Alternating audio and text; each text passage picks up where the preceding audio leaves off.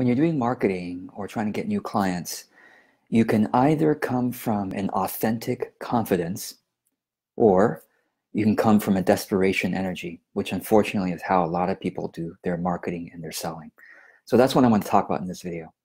So, first of all, it's important to understand that to have a great business, you need great customers, great clients.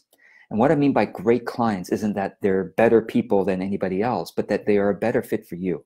In 10 years of working with over a thousand clients in my programs, as well as one to one, I have noticed that I am a great coach only for certain people.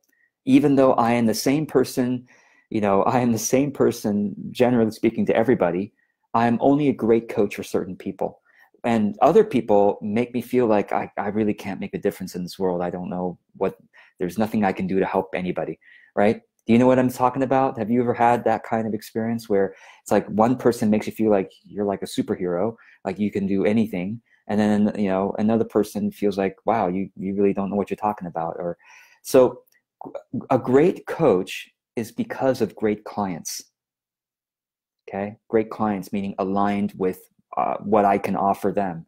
And your your your best your best coaching, your best services are provided to people who get the most from what you do. So therefore, you don't need to come from any kind of desperation energy to be able to get those great clients. In fact, if you come from a desperation energy, oh, I gotta pay my bills, I gotta get clients, I gotta meet this number to be successful, that's when those great and, and aligned clients leave Okay, so uh, so a couple of points to remember. One is that you will feel your business will thrive and feel you'll feel amazing when you have clients that are really right for you who just love what you do. And two, those clients tend to leave or or not sign up with you when you're coming from a place of desperation. Okay. So how do we not come from a place of desperation? You've got to stop requiring your business to pay your bills. Now, this sounds ridiculous, right? Let me let me let me let me brief, let me explain this more. If your business is not paying the bills right now, okay, and it has never paid the bills, you need to be a lot more gentle with how soon your business can pay the bills. I'm going to be one of the only business coaches and marketing coaches to look you in the eye. Maybe there are other good ones out there who are willing to be uh, to be honest with you, but just about everybody out there is trying to sell you on a program that will get you from nothing to you know paying all of your bills with your business in 60 days 30 days 90 days even a year. I don't know how long it'll take you. It might only take you three months or six months. I don't know. I'm not going to put any timeline on it. But what i do know is that if your business has not been paying all of your bills thus far, or it's been very, very rockety, okay, to expect that some some tweak you're going to make in your business will now certainly suddenly pay all your bills is unrealistic. If I have seen anything in 10 years, it's I've seen businesses either succeed very quickly or the ones who don't succeed quickly need a more organic pace of growth. Okay? And yes, sometimes you'll come across some idea that will give your business a big boost. Now, then the question is, are you going to expect that big boost to, to stay forever? That's unrealistic too. Big boosts are ones to learn from and say, hmm, I wonder if this is sustainable. Let's try it again. Oh, well, the second time didn't work quite as well. You've got to look at your business from a, from a more longer term perspective than just looking at the get rich quick schemes that are out there because they are not sustainable and when you you've ever tried them most of them don't work right? And the few that do work have a like a blip and then you're like wait i'm i'm still broke right? You've got to stop giving your your business that kind of pressure if you don't want to come from a desperation energy and therefore push away the clients that are actually best for you okay? So figure out a different way to pay your bills. Some of you have been smart enough to go get a job. Wonderful. I am not the kind of business coach that looks down on people with a job. Job, just over broke, right? Some business you know, you know experts say that. That's ridiculous. Get a job that makes you feel secure, or whatever you need to do. Maybe your spouse is very supportive, or you have your family member, your your parents are very supportive. It doesn't matter. Don't be ashamed to be financially supported as you build your business. Build a business without financial desperation. Okay? Please, if I could, please, please, let me just be uh, be an encouragement to you in in not being ashamed of getting a job at Starbucks or whatever. I mean, you probably can have other additional higher paying opportunities for you, but get a job.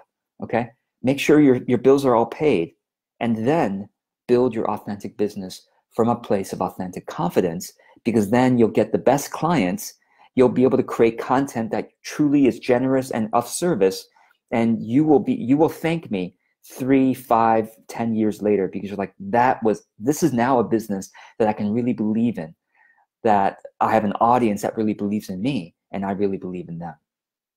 And i really believe in the way that i'm doing business. Okay? So that's what today's message is is do whatever you need to do to get out of desperation energy so that you can come from a place of gosh you know my the, here's the other point on, on this is your life force is limited. Would you agree? Of course. And every single day you only have a certain amount of energy. Every year you only have a certain number of weeks you can work. Every every week you can only have a certain number of hours you can you can work on your business because your life energy is limited, it needs to be given to those who can most use it to, to make a difference in the world, to you know, make their life much better, rather than giving it to the clients or the audience members who are not going to make do much with it.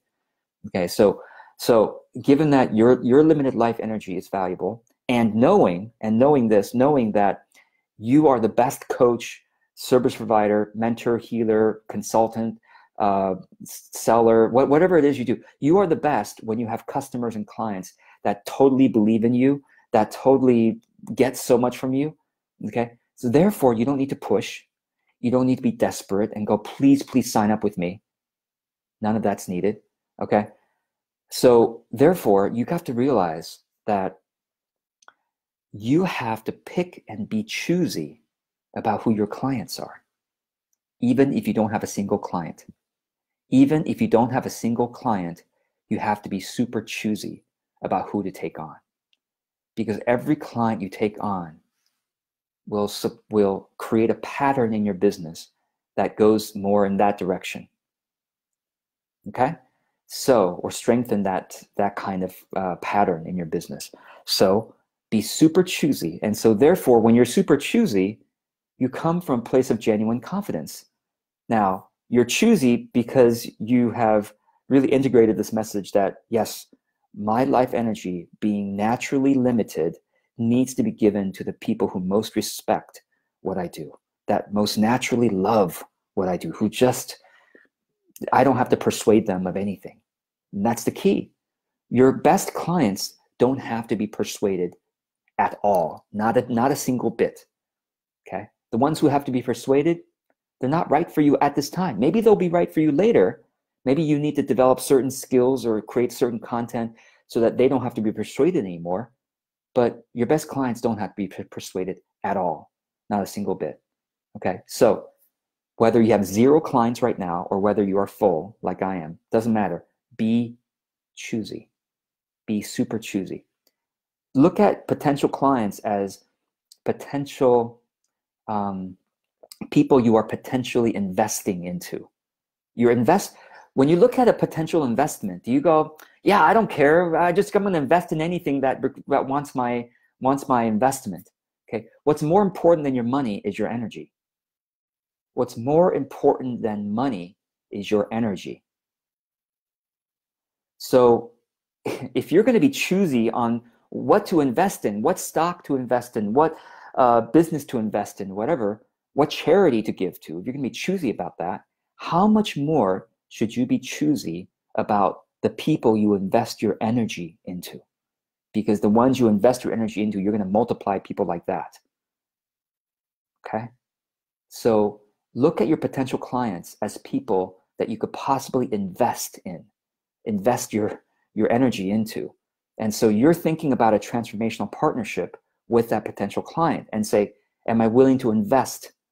Am I willing to invest in this partnership? Only if you're like excited to invest and that they are excited also to invest. If it's a true win-win, there's no persuasion. There's no, you know, overcoming objections. Yes, you answer questions, but there's nothing in terms of God, I got to make this person believe in me or my work. None of that. It's just creating content from a place of gen from from a place of authentic service, right?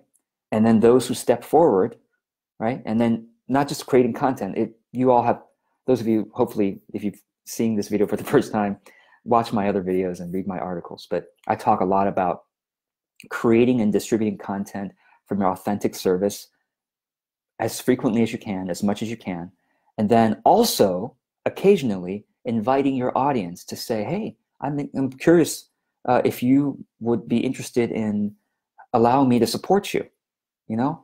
And those who step forward, and if nobody steps forward, you need to do more content. You need to do more distribution of your content. Are you doing Facebook ads? Is anybody seeing your content? No one's not enough people are seeing your content. You don't have you're not giving the people the chance to step forward, right? And then the occasional invitation, hey, you know, I'm I'm open to forming a um, this kind of relationship where I can really support you, but I'm only investing my energy in a limited number of people, right? So I, it's only the right, so please let's have a conversation, see if it's the right fit, but it's all very gentle. It's all, you know, just invitation because you know that you are a great service provider or business when you have the right customers and the right clients. Be choosy. Do not build a business based on I I got to pay the bills. That's the most dangerous way to build a business. I got to pay the bills. So I got to sell, sell, sell. I've got to convince people to do this or that. You're creating more of that pattern in your business. Trust me on that. You've got to build a business from a pattern of authentic confidence. And that's where you really build an authentic business that you love. I built a desperation energy kind of business in the first uh, like 2009, 10, 11, 12, 13. The first five years of my business was in desperation energy, and I was exhausted because I had to sell all the time. And I did not build a, an audience that was really loyal. In 2014, when I started my business over, so first five years, I experienced desperation energy. I experienced burnout. I experienced uh, manipulation, trickery, all the stuff that you might learn in other marketing programs, uh, some other marketing programs, lots of the ones that I took anyway. Um, and well, this is a lot of what's out there, like you know, loudness and like very clever, and you got to be clever, you got to be persuasive, you got to be like really pretty, you got to be really sharp looking, amazing, every desperation energy. It's like I got to convince people that I'm worthwhile. Got to convince them. Okay, first five years of my business, right? And yes, I made a lot of money. I made a lot of money. I have to say, that does make you a lot of money, but it's a very suffering kind of way to. I felt it was a very kind of a suffering kind of way to live. Uh, it was I was always afraid of refund requests because I I oversold all the time, and I was always you know just a lot of a lot of fear and anxiety in that kind of model. And then 2014, when I started over, basically with a you know with a brand new audience, some people followed me over. 90% of people did not follow me over so basically, I started with a brand new audience, I decided to build from an authentic confidence. And you can see the results now, you know, 20, 2014, 15, 16, 17, 18. Now, five years later, right? Five years later, you can see the results. A genuine audience, um, even my hardest to sell program, which is Joyful Productivity. And even, you know, there are some programs that are really hard for me to sell, but I'm so passionate about it. Like, I don't care if you don't like it, I'm going to sell it anyway because now I have a genuine audience. I have a big enough and a genuine, a genuine and a big enough genuine audience that I can sell stuff that most people don't care about, but enough of you care that you'll still sign up. So my Joyful Productivity program, for example, the hardest course for me to sell, and you probably have seen been seeing my posts about it. I'm saying, hey, those who, who didn't buy, why didn't you buy? I'm genuinely curious, not from a desperation energy, because I'm just so biased with my passion. So it's, a, it's an honest question. So even if it's hard to sell, I still sold 50. So it's $3,000. Not bad for a program that's hard to sell, right? In a, in a single month. So so so that's what happens when you build an authentic business. Is you have an audience that actually cares about you, and every time you sell something, enough of the people for whom timing is right and who like that topic, whatever, will will buy or will hire you or you know whatever. And as you keep distributing genuine, authentic, service-oriented content, the, the genuine audience keeps growing. It just keeps growing, growing, growing, growing, growing, and then your selling becomes more and more of a whisper, more and more. Just hey, by the way, I've got this available. Now, of course, even though I I, I, I no longer use hype, I hope uh, please catch me if I do use hype in my selling, so, because sometimes I have blind spots too. But I try not to use hype. I try I try to just be really honest and genuine in my selling. Um, very whispery, just like, hey, I've got this available now. You know, if you if you're into it, it's my favorite topic. You know, take a look. Uh, even though I, I'm whispering, I do make sure you know about it. So I use ads and emails to make sure you know about it. Hopefully, not too much. I only send two emails, two emails to launch a program versus most people send 10, 15, 20, 30 emails to launch a program. I send two. But I do run a bunch of Facebook ads so that if you're surfing Facebook just casually, like enjoying your time, you'll see my reminder again that the course is, you know, that kind of thing. But but hopefully the reminders are also genuine, honest, authentic, not desperation, right? Not yelly, hopefully, not scarcity, manipulative, hypey, yelly, promotional, selly, right? Salesy. So that's what I encourage you to do is to take a look at whether you are requiring of your business something that doesn't have a track record yet. Business, as an authentic business grows organically, and you look at it over years, not oh, over God, am I going to make the bills this month? That's that's a danger zone. Now you're going into manipulative business rather than authentic business, right? And I'm, I, by the way, manipulative business is most much of the business that's out there. So it's not like oh somehow they're evil or I'm evil or whatever. No, it's just it's just not an ideal model for a sense of authentic joy. That's all it is. When it's manipulation, all of us manip- manipulate in some way in our life. We oftentimes don't even know about it. So we just have to continually return to: Am I trying to manipulate, or am I tr- am I simply coming out of from a sense of service and a sense of connection? That's all. That's all. And a sense of joy in, in, in the person that I'm talking to. So I hope this is helpful. Thanks for joining me for this live video. Thanks for um, see Jace, Wendy, Roy, Diane, Yule, Sarah, Gudrun, uh, Megan. Thank you all for joining me here. I appreciate your comments, uh, Gudrun and Jace. Thank you. Um, and you'll let's see Jace uh, question. So let's say you're starting at zero uh, and you don't have time to take on anyone. Can that be used as a preparation even if they're not ideal for you? Oh, I'm sorry. It, let's say you're starting at zero. Let's say you're just starting. Hey, you have time right now just to serve clients, etc. And you have time to take on. Can that be used as preparation even if not they're not ideal for you? That's a great question. I think that even at zero, you should still be choosy, and you I would rather, if I was starting as I would rather work for free for somebody who is an ideal client than take someone's money who's not an ideal client. Now, ideal versus not ideal is a spectrum, of course, and you might land one one place versus another. It doesn't have to be perfect. It doesn't have to be like this ideal client is like you know this age range and this profession, and it doesn't have to be perfect but you'll learn over time. And actually, when you're starting at zero, you don't really even know who is an ideal client or not. So, yes, I would say that if you have a good sense of somebody, okay, take them on and see if it's an ideal client. If you have some red flags right away in the beginning of your, your interactions, refer them to somebody else uh, or say, you know, I'm not available right now uh, for, for service. You know, I'm not available. I can't take you on right now. I apologize. You know, but notice the, the sense in the beginning in the communications of red flags or, wow, some, my, my spirit is, my soul is saying yes to this, you know, then, then you'll learn over time what is less and what is more ideal. Right? Um, yes. Okay. thank you. Thank you for your comments. Um, all right. I wish you a return to the real you, the deeper you, the higher you, which is eternally resourced, infinitely powerful. And so you actually don't need anything. I believe we're here on earth in this life to play, to experiment, to learn from our playful experimentation and playfully experiment how can we serve, how can we really uplift this world. It's a game. It's like a big, giant, very, very sophisticated alternative rea- uh, virtual reality video game that we're in right now. And the challenges are, hey, how can we make this earth better? How can we make this society better? And it's a play. Let's, let's play. And so, since we don't really need anything, and we're all actually eternally secure, let's build a business that's fun from a place of authentic confidence. I wish you well.